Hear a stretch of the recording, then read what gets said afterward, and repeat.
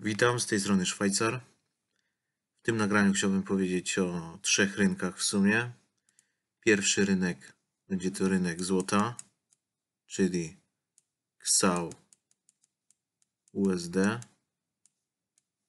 wykres H4, 4-godzinowy. Tu mamy cały czas wzrosty. Po reakcji na overbalance to wewnętrzne.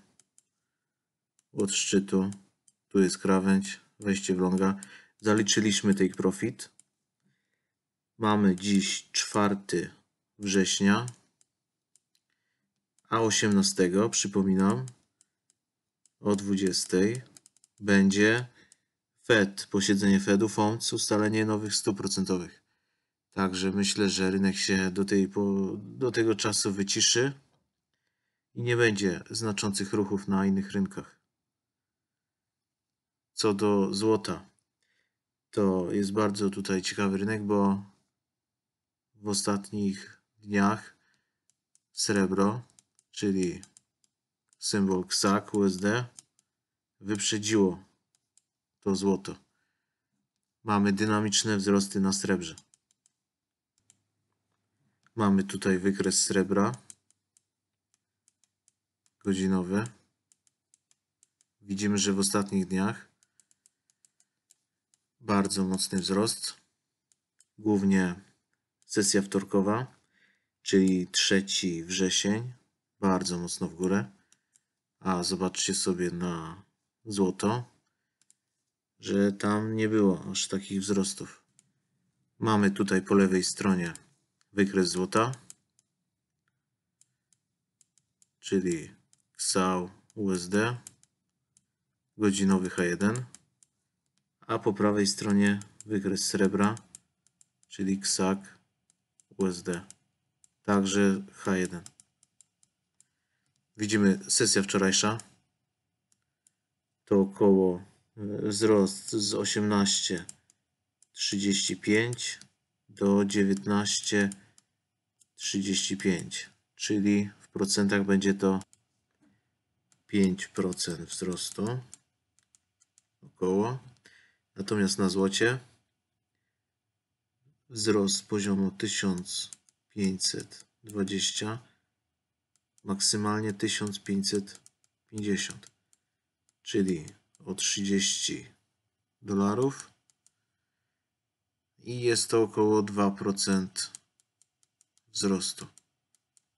Także srebro dostało powera. Mocny wzrost. Ciekawe właśnie, czym spowodowany? Pewnie tym, że tutaj była taka konsolidacja mała, a na złocie już konsolidacja trwała w innych zakresach. Druga sprawa, że od 23 sierpnia do 29 sierpnia srebro urosło z tych poziomów do tych, natomiast złoto zaczęło już konsolidować od 24 po 23 po tym dużym wzroście, po otwarciu tutaj luką, złoto zaczęło konsolidować, natomiast srebro cały czas, jak widać, jeszcze rosło. Ta sesja zadecydowała 27 sierpień, a tutaj też mamy wzrost, ale nie jest wyjście na nowe szczyty. Wykres srebra długoterminowo bardzo ciekawie wygląda, bo na wykresie dziennym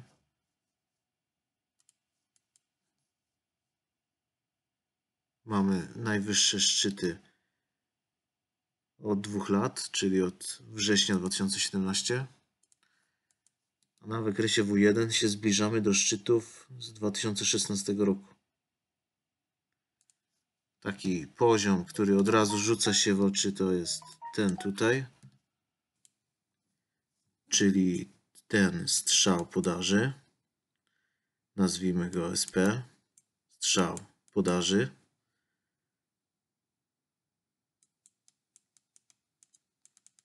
A dlaczego strzał podaży? Bo z tego poziomu bardzo szybki poszedł strzał podażowy, cena od razu spadła.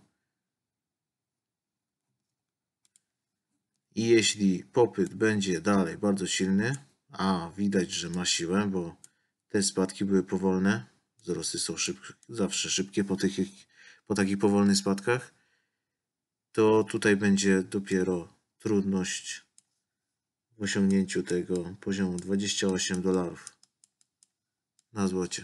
Punkt docelowy. No przy okazji mamy jeszcze te opory tutaj z 2011 i 2012 roku. Czyli od tych cen aktualnych 19,50 mamy 8 dolarów wzrostu. Czyli około 40% jeszcze w górę. Przechodzimy do drugiego bardzo ciekawego rynku, jakim jest aktualnie rynek ropy WTI. Wykres H4 4-godzinowy. Tutaj mamy bardzo szerokie konsolidacje. W szerokiej konsoli jesteśmy. Zasięg jest od 57,20 tutaj do 53,60 czyli około 360 centów. Ten zasięg mamy i powtarza się tutaj jako pierwszy raz, tu powtarza się jako drugi raz, tutaj jako trzeci raz i aktualnie jako czwarty raz. Przeważnie jest tak, że jak już coś zbyt długo się powtarza, to przestaje działać. Ale sądząc z ATR-u, to możemy mieć znów spadek piąty raz, szósty i siódmy i ósmy raz też. Często właśnie tak jest na parach z funtem. Do tych par zaraz przejdziemy. Mamy tutaj na wykresie kabla, czyli funta do dolara. I ciekawa bardzo sytuacja, bo na wykresie dziennym D1 tu są świeczki, ale one są tak zmieszane, bo ja nie, po prostu nie używam tych świeczek. Tylko wspomnę, że świeczka to OHLC, to jest Open, to jest High, to jest Low, to jest cena Close. I na przykład świeczka dzienna składa się z tych czterech cen. Natomiast w ciągu dnia mamy ponad, mamy tysiące, dziesiątki tysięcy kwotowań na wykresie. Także macie tu cztery ceny i sobie przedstawiajcie to graficznie. Ja myślę, że to jest głupota totalna. W ciągu dnia nie warto właśnie śledzić tych świeczek. Może być taka świeczka. I co wam to powie? Tu będzie otwarcie, tu będzie zamknięcie, tu będzie najwyższa cena, tutaj najniższa. Myślę, że wystarczy takie coś. Czyli prosty słupek. Cena otwarcia i cena zamknięcia jest totalnie nieważna. Ale to tylko dygresja była. Przechodzimy do ceny kabla, czyli funta do dolara. Widzimy tu, że próbuje wychodzić ponad średnią aktualnie. Przybliżymy ten wykres. Patrzcie, że przez cały ten ruch spadkowy nie mieliśmy do czynienia z tak mocnym wzrostem w ciągu dnia. Tutaj był porównywalny, ale dzisiaj mamy jeszcze mocniejszy. I to następujący po sobie, bo od dołu, tutaj w górę, mamy dość spory zasięg i od ceny otwarcia znów mamy dość spory zasięg na maksymalnych ostatnich zasięgach.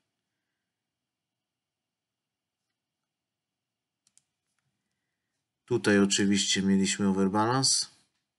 Można go było tutaj łatwo zauważyć. Ten overbalance, czyli te zasięgi są bardzo podobne. Cena zeszła, zaliczyła tutaj profit i od razu maszeruje w górę. Myślę, że jeśli pokona tutaj ten poziom 1, 2, 4, 50, czyli ten tutaj strzał podażowy, to dopiero po pokonaniu tego poziomu zacznie mocno iść w górę. Wtedy będzie można spiramidować ten ruch w górę. Postawić tu zlecenia buy stop do piramidy w górę. Myślę, że nawet może być taka sytuacja, że cena podejdzie pod ten poziom i po prostu od razu wyjdzie w górę. Będzie można co 5 pipsów piramidować te pozycje w górę, bo nie będzie już korekty, od razu będzie cena szybowała w górę, a to z tego względu, że pojawią się po prostu wieści sprzyjające wzrostowi funta.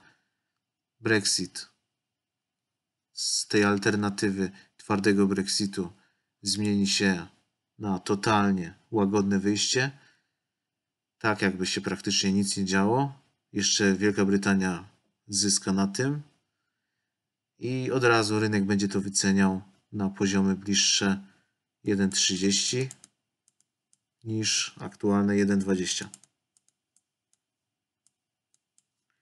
A co może się zadziać? Mogą wywalić obecnego premiera, przegłosować wyjście z umową i od razu mamy inne ceny. Mamy inną rzeczywistość. Mamy rzeczywistość z początku maja.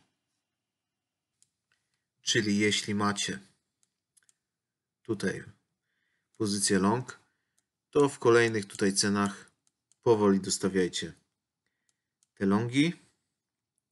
Ja tak w sumie będę robił. Wy to nie wiem, co tam możecie. Aby nie gridujcie shortów. A później maksymalnie ciasno stawiać longi. Tutaj zamierzam aż do 1,28.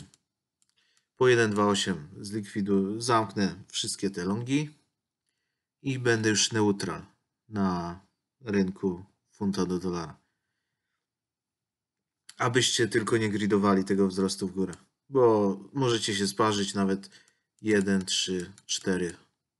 Jak wam lemurki zaczną coś mówić, że przy 1,28 będzie drogo, to olejcie to, bądźcie neutralni, wejdźcie sobie w jakiś overbalance, na przykład takie jak tutaj było, analogiczne, bo to bardzo dobrze zapłaciło, ten overbalance. Podobnie ten zasięg był bardzo zbliżony. Zobaczcie, że dokładnie ono się pokryło. Mamy największą korektę w tym spadku. Odmierzamy dołka. Idealne wejście na tych krawędziach. Cena praktycznie tylko 23 pipsy wyszła w górę, a potencjał tego Verbalance to 270 pipsów ponad. Dzisiejsza sesja wzrostowa to 154, dość sporo. Od dołka wczorajsza sesja 147, czyli dzisiaj już zmienność się kończy. Widać, że nawet mamy godzinę 21.55. Zmienność praktycznie się kończy. I następnego dnia, jutro, znów te 150 da już poziomy 1, 2, 3, 73. Zaznaczymy to. 1, 2, 3, 70. Zaznaczymy, oddalimy teraz wykres. I widzimy, że dobrze właśnie tutaj pokazuje. Jeśli jutro wyjdziemy tutaj do tego poziomu, to dopiero będziemy mogli mocno piramidować te pozycje. Mocny long w górę na kablu, na funcie do jena. Druga sprawa. Rynek powoli staje się trendowy. Weźmy wykres H1. Oddalimy do maksa. I co widzimy? Tu jest średnia SMA 33. Widzimy, że do tego okresu cały czas od początku średnia bardzo dobrze pokazywała momenty zmiany tendencji na rynku. Tutaj był bardzo długi sygnał z tego shorta. Tutaj long. Później mieliśmy okres cały czas cena przecinała średnią. Średnia w ogóle nie działa. Natomiast teraz średnia zaczęła znów działać. Po tym szorcie przecięcia były tylko w dwóch miejscach od razu zanegowane. Od razu cena chowała się pod, pod średnią. I tutaj mamy już bardzo długi sygnał na longa z tego H1, z tej średniej. On trwa już od 1,2050 do aktualnych cen, czyli 170 pipsów około.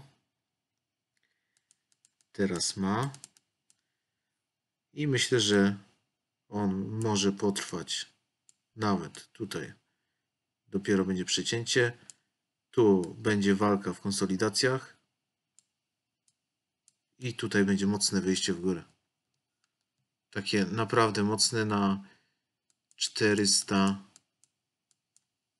pipsów bez żadnych korekt.